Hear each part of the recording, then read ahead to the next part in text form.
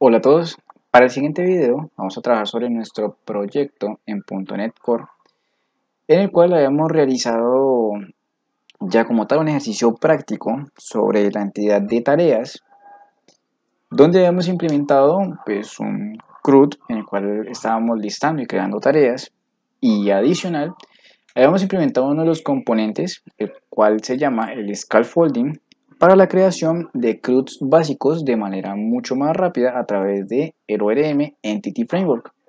¿Listo?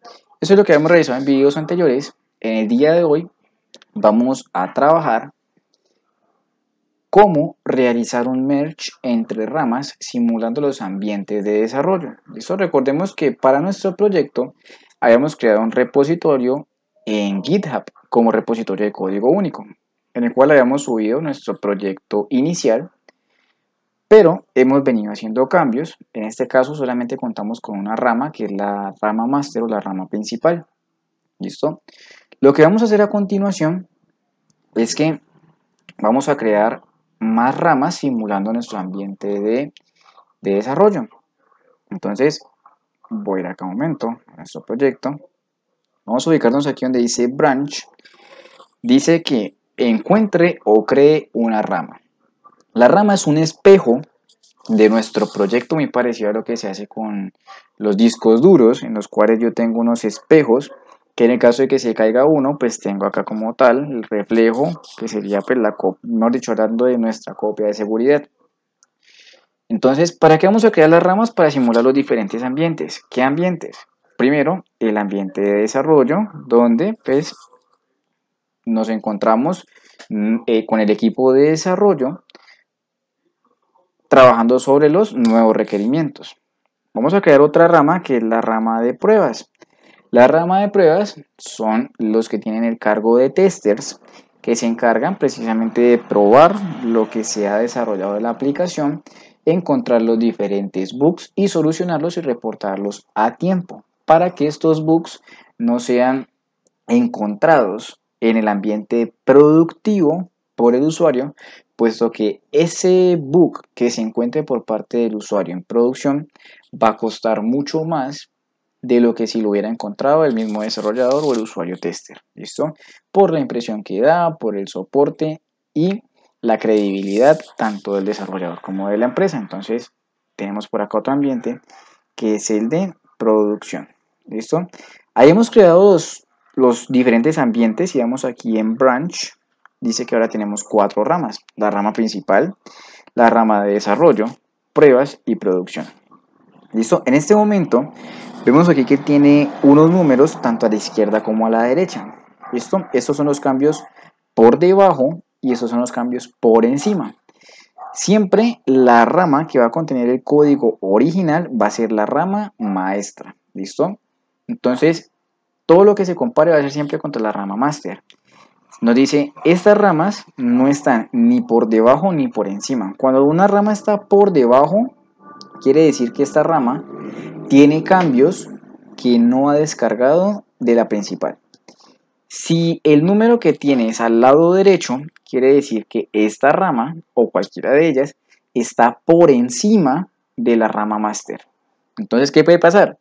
Que digamos que trabajamos sobre el ambiente de desarrollo, sobre esa rama. ¿Qué quiere decir? Que esa rama está por encima de la master.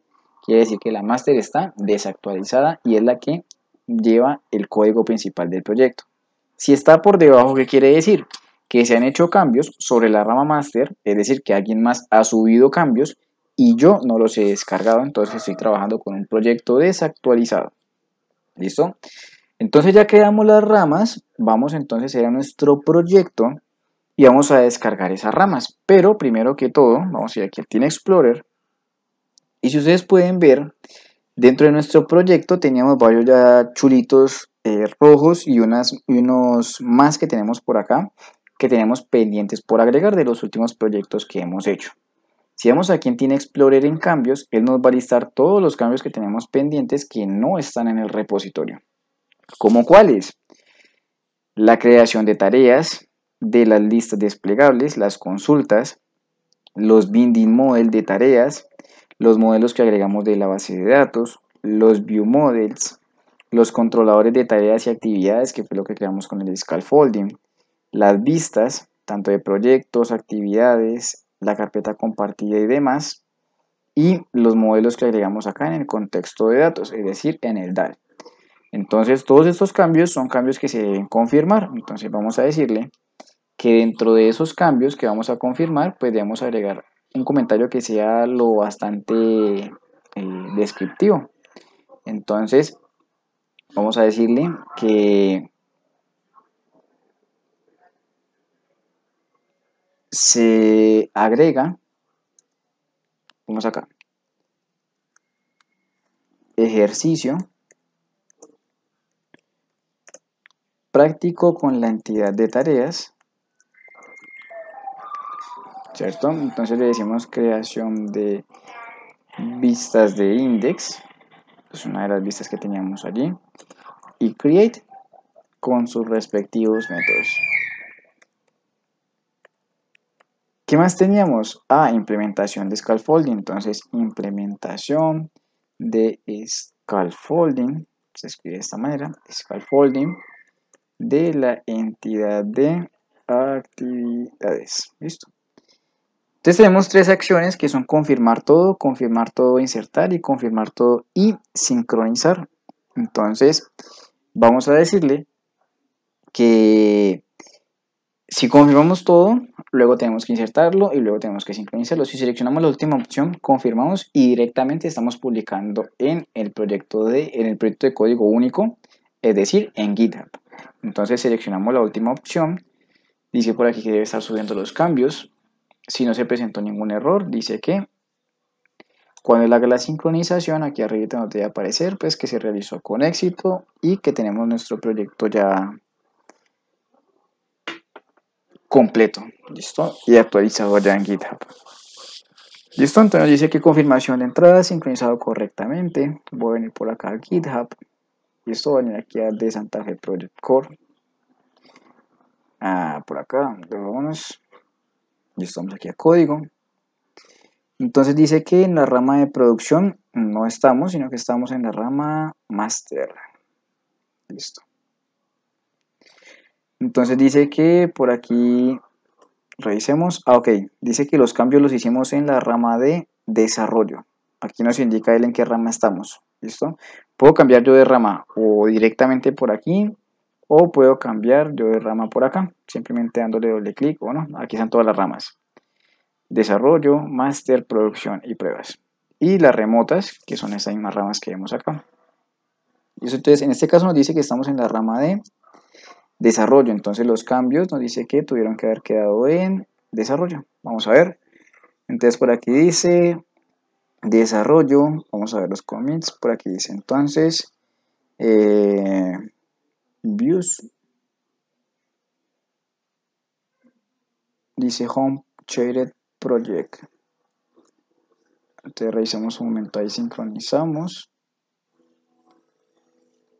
vamos a ver un momento, rama de desarrollo, project core, Listo, acá dice que está sin problema, Project Core Web Views. Y aquí no tenían aparecer dos carpetas más. Entonces vamos a revisar un momento las diferentes ramas.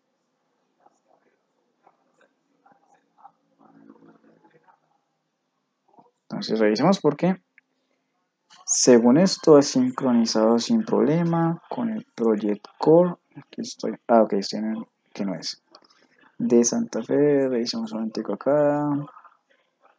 Y dice Project Core. Es este aquí.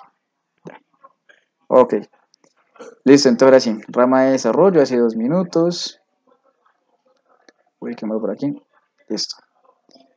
Entonces aquí está ejercicio práctico con la entidad de tareas. Está en desarrollo. Si nos cambiamos de rama, por ejemplo, a test, vemos que ahí todavía no está publicado y en las demás ramas tampoco.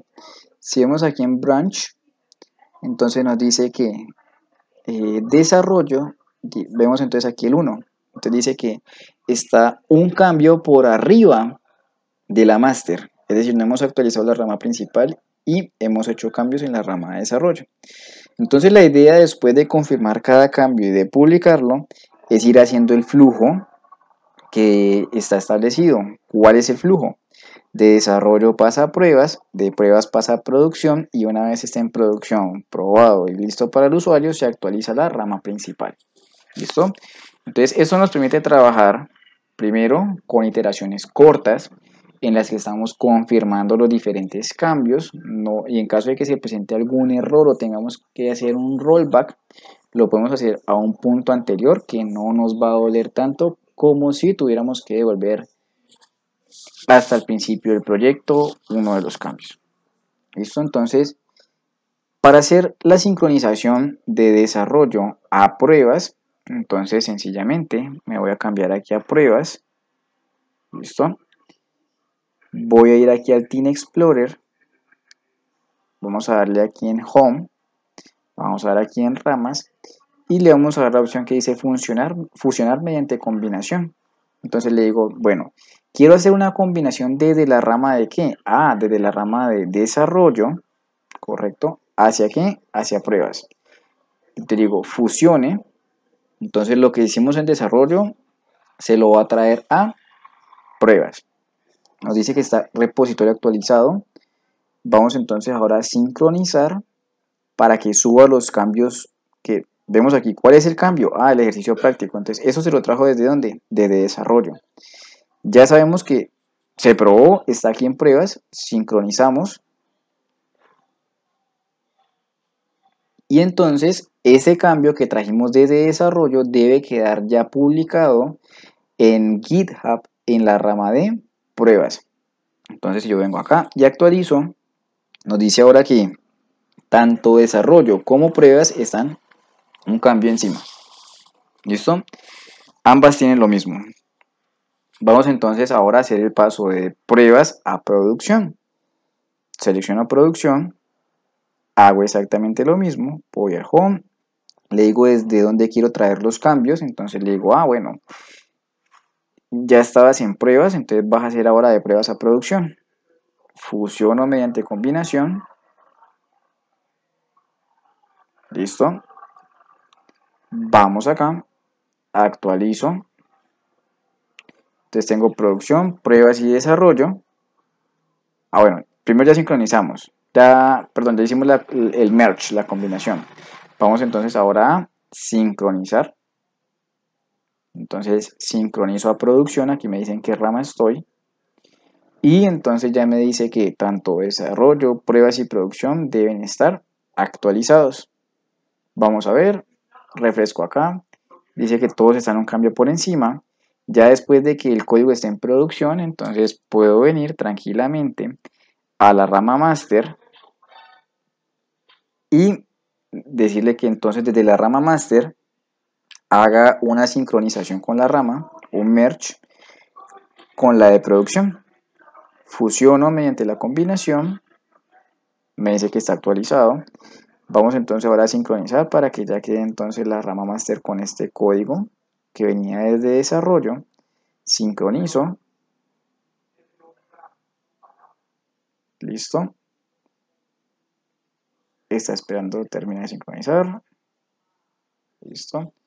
Y si refrescamos ya deben aparecer todas en cero. ¿Por qué? Porque todas las ramas están con el mismo código. La idea es que las ramas al final de un sprint o al final de una entrega estén todas actualizadas. ¿Listo? Para que yo pueda llevar el control de qué está en desarrollo, qué está en pruebas, qué está en producción, qué debo actualizar, cuáles están por encima de que se estén desarrollando cosas nuevas, cuáles están por debajo que otras personas han actualizado y yo no he descargado cambios para llevar un control mucho más estricto. ¿Listo? Entonces vemos que ya están actualizadas todas las ramas. Acabamos de hacer un merge entre ramas. El merge es la combinación, llevarse los cambios de un lado para otro y tener todo el código debidamente actualizado. Entonces, los testers pueden estar haciendo uso de la aplicación en modo de pruebas, van a tener el código. El usuario final va a seguir haciendo uso de sus funcionalidades común y corriente, mientras que el equipo de test se encarga de probar y el equipo de desarrollo pues se va a encargar de hacer sus nuevas funcionalidades sin que afecte los demás ambientes. Entonces, por lo menos en el caso de un proyecto que estemos entregando, un proyecto final, puedo ir trabajando en desarrollo. Estoy seguro paso a pruebas. Sé que lo que está en pruebas lo hice con datos, está bueno, no tengo problemas, lo paso a producción. Y en el día de la presentación del proyecto final, pues presento lo que está en producción. Si tenía una funcionalidad pendiente que todavía no estaba muy seguro, pues la dejo en desarrollo para que no vaya a afectar el día de la presentación. ¿Listo? Entonces, eso es como tal para orientar también hacia la parte de calidad de software, en la que yo garantizo que lo que estoy publicando ha sido previamente probado y garantizo como tal una funcionalidad. ¿Correcto? Entonces ya tenemos nuestro proyecto actualizado y listo para continuar ya con la parte de Ajax y plugins de jQuery. Eso en el próximo video. Eso es todo por este video. Cualquier duda o comentario, por favor agrégala en la descripción del video para responderla lo más pronto posible. Quedo atento y hasta una próxima ocasión.